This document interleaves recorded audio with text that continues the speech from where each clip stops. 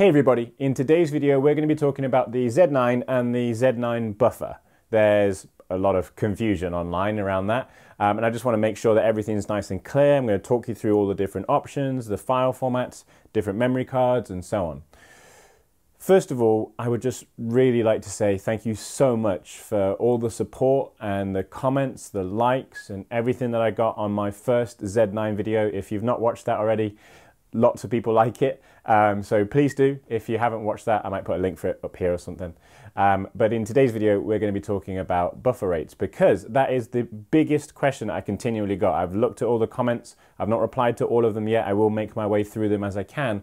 But the biggest comment that kept coming through and coming through and coming through was around buffer rates. And I appreciate that there's some confusion out there as to what is going on with the buffer and what's going on with the different options that you have in the Z9.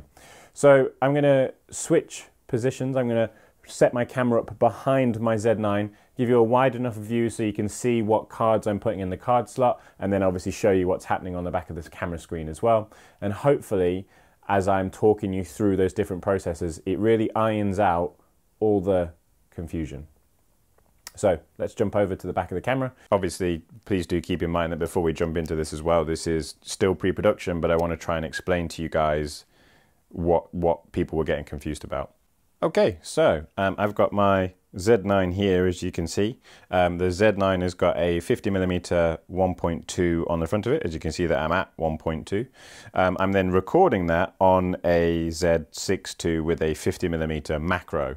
So hopefully the setup makes sense. In front of my Z9, I've then also got a, a color checker. So just obviously be work as my subject. The biggest thing that a lot of people get confused about was this 30 frames buffer size. Like you take 30 shots and then your buffer fills. So I get it. I can figure out where that comes from and what might cause that situation to happen. So that generally revolves around using an XQD card. So if I was to use an XQD card, say a 64 gig version here, this has got a write speed of 400 megabytes. Now that's the important bit. I'm never really interested in read speeds, and a lot of memory cards do just put their read speeds on them. Some cards don't put their write speeds on them. What's also really important is your consistent write speed as well, because there's a lot of cards that might have a peak of a write speed, and then over time that write speed will drop down, and that can make a huge difference for continuous shooting when it comes to the buffer that you're shooting with. Just to give you guys an idea, let's just jump into the photo shooting menu and show you that I'm in RAW. So I'm just doing just raw. I'm not doing raw JPEG or anything like that. I'm just doing a raw file. My image size is large. I can't change that because you can only change the image size when it comes to JPEGs. And my raw recording is set to lossless. I'm not in high efficiency and I'm not in the high efficiency star. So I'm going to press OK on lossless. Just double check we are in lossless. I'm not going to change that until I tell you. Um, I'm not doing anything with slot 2. This is just a one card in slot 1 and everything else should be good. So let's just jump back out of there. Now let's just pop in my XQD card. So just so you guys are clear, 64 gig XQD goes in the slot, close the door. Um, just go and format that just to be double safe. So I'm just going to format that card, slot one, yes. There we go. Okay, so let's go back to shooting. So when I half press the shutter, um, I, you can see that it says a remaining of 20 frames. That just shows you how many frames your camera has left in your buffer. I'm just going to increase my shutter speed here. Okay, so I've got a couple of extra frames there, but if we look at that, that clearly says 33 frames. So even if we downscale that down to 30, this is where this number comes from.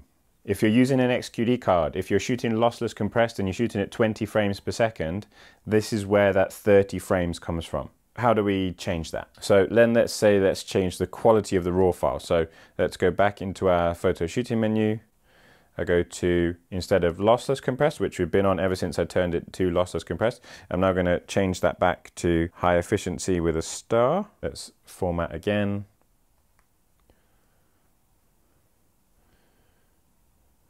There we go. Okay, a couple of frames over, but we get 52. So high efficiency, 20 frames per second, we get 52 shots. If I go to high efficiency, just format the card again.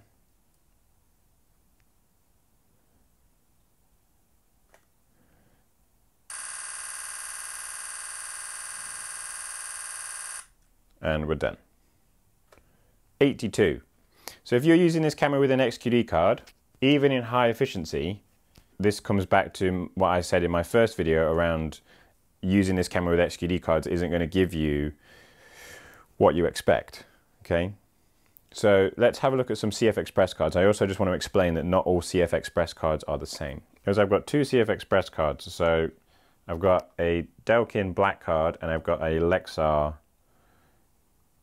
Professional Gold card as well. So this gold Lexar Professional CF Express card, it does have its read speed written on it at 1750, but it does not have its write speed written on it. Now, from what I can find online, these have a write of about a thousand megabytes as a peak. So let's try this Lexar card next. So I'm going to pop that in the slot.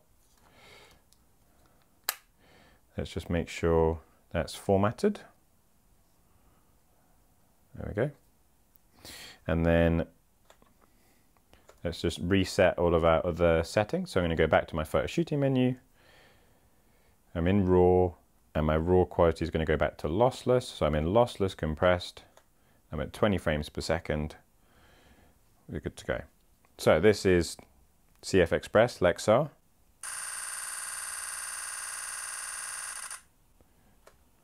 We get 61 frames. So versus XQD, XQD was giving us 30 to 33 frames. CF Express Lexar was giving us 61 frames. If we do that again, let's go for another format.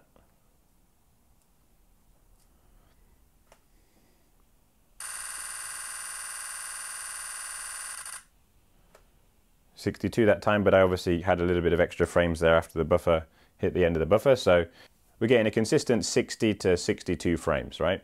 So we've gone from 30 to 60 already just by going to a medium speed CF Express card at 20 frames per second. So if I now change that to high efficiency with a star and format, There we go.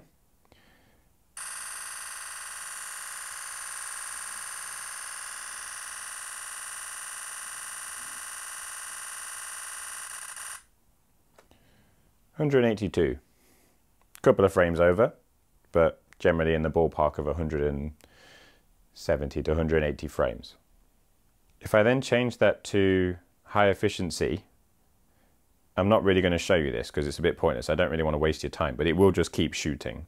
So this is the fastest card that I've been able to find. And this is the card that I will be using to in my Z9. I've got multiples of them. I bought quite a few. I bought quite a few when I realized how good these are. So these are the cards that I'll be using. I'm going to put in our Delkin Black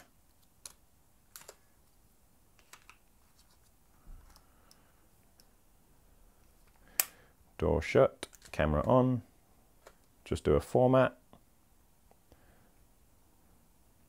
There we go. So let's just make sure that we are in lossless. So lossless compressed, image quality raw, we're good to go.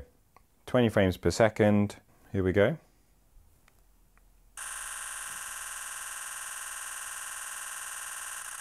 Okay, so I've got a couple of extra frames there, but you can see we're now up to 81.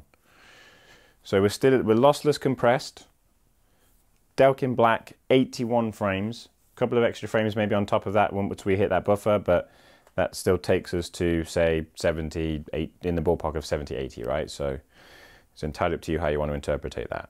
But we can clearly see that not all CF Express cards are equal.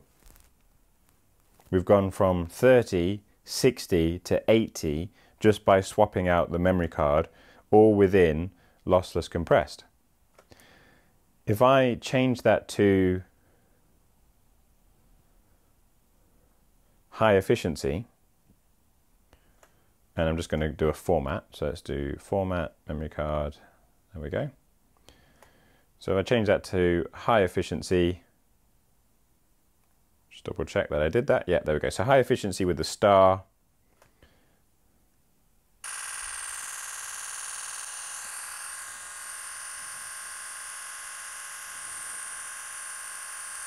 This thing's just going to shoot forever now.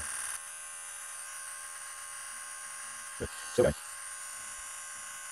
Still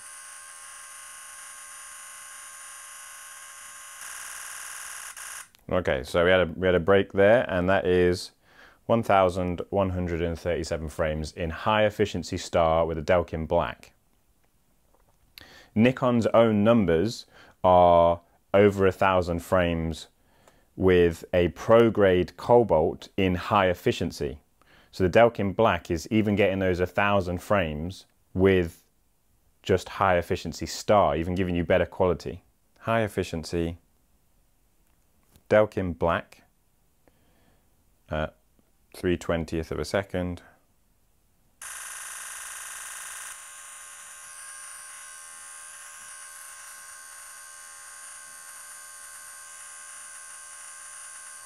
It's all live, still going, we're still shooting.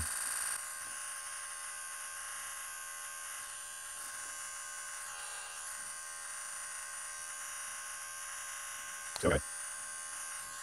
And we're not even we're not even slowing down the buffer number here. That's just still sticking at 14. So this is what I mean. It would just I'm just going to stop now because it just goes forever. So that was 2000. One other thing I'd really like to highlight as well, that which you may have seen, is how quickly the buffer clears. So if I show you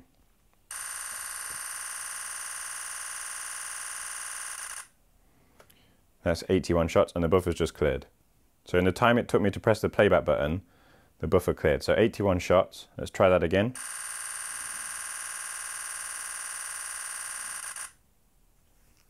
Cleared.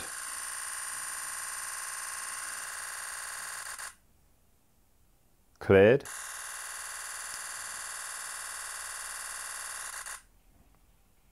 Cleared. So the buffer clears like it's ready to go again and again and again. And even if you did just want to ignore that,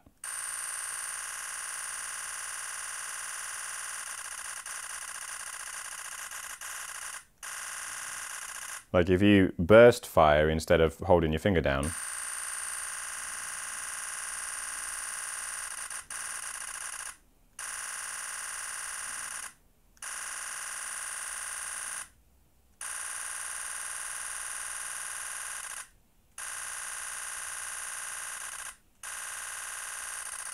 you could easily just burst fire if you wanted to. I've taken 700 shots there.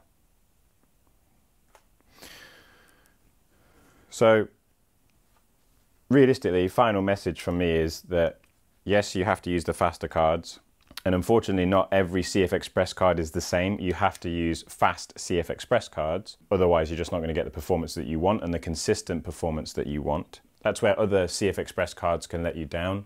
There's only a few that can keep up with that performance. This obviously also brings up questions around high efficiency and high efficiency star and the quality loss. Obviously, everyone knows that lossless compressed is that highest quality. Now, I have seen things from Nikon that say that high efficiency star is imperceivable, like you can't see the differences in the change in the quality from lossless compressed to high efficiency star. And then when you get to high efficiency, you can see differences in the picture quality loss. I will be doing a, a full video on this I do have access to the raw files. I have software that can read the raw files. I've had that for a long time. So I, am going to make a separate video around lossless compressed versus high efficiency star versus high efficiency, dynamic range, noise performance, overall sharpness, all those types of things. And if we are in a situation where high efficiency star is as good as lossless compressed, then also all of these problems just disappear because the buffer with high efficiency star is massive. So I'm well aware that the actual format and people being uh, confused around lossless compressed and high efficiency star is adding to that confusion as well. So I will do that in a separate video. Some of you may have saw that I had a, a post on Instagram about different memory cards.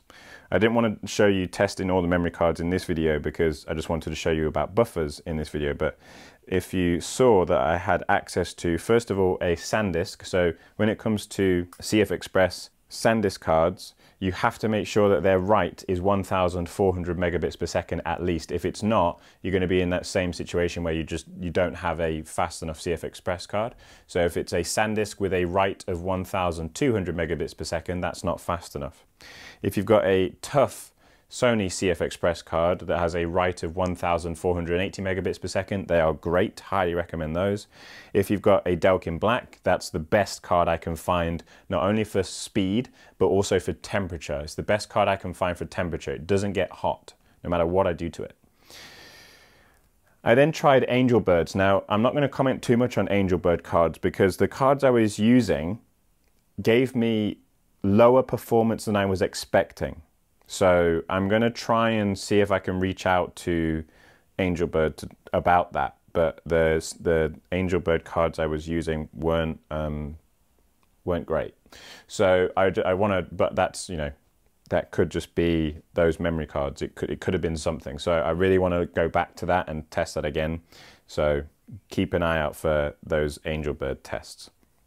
So overall, um, ProGrade Cobalt are, are, are great. Delkin Blacks are great. The Sony Tough cards, great. SanDisk, great as long as it's got that 1400 megabits per second written on it. If not, then it's good, but not great. Lexars, okay. Their temperature is my biggest concern. They get really hot. So that's my, my biggest concern about their temperature, really. Um, and then XQD cards are not recommended, personally. That's my personal recommendation, not obviously Nikon's recommendation, but you can use XQD cards if you're a landscape photographer or you shoot like single frame. So the way I see this is there's two ways you can look at this. Either you look at it from the point of view that Nikon have used a purposefully small buffer and therefore if you're a photographer that uses older XQD cards, you can't get the best out of a Z9. That might be one way of looking at it. Or you look at it another way and you say that the Nikon Z9, Nikon relied on faster cards.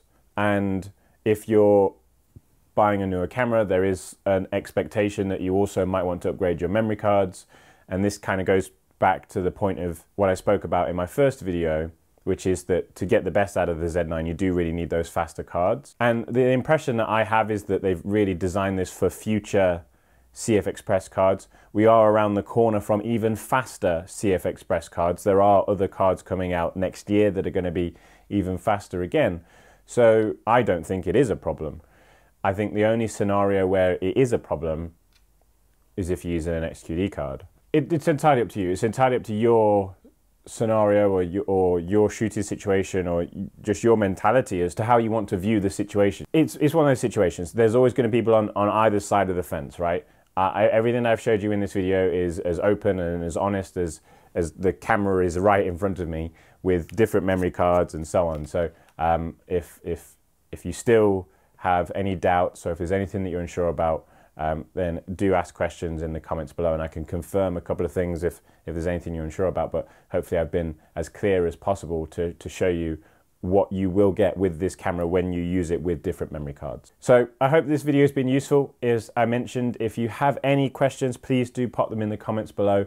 And as always, thank you so much for watching. Thank you for all the support. We also passed 30,000 subscribers just before the launch of the Z9. That was a little bit of a, a secret win for me. And I've been so incredibly amazed by all the support and the kind comments that you guys have left. So it, it really means the world to me. So just thank you so much, guys. I'm going to continue making these videos. I've got so many on the way, and don't worry, I've not forgotten about the macro lenses. I've not forgotten about the 40 millimeter. There's, trust me, I'm just trying to do all of this on my own, and it's there's only so much I can do. So I'm trying to get it all out there um, to make sure that you guys are happy with all the content that I'm making. So I'm trying. I'll get there eventually. Um, there's just so much to cover. So. Thank you so much for watching. I will see you very soon. Goodbye.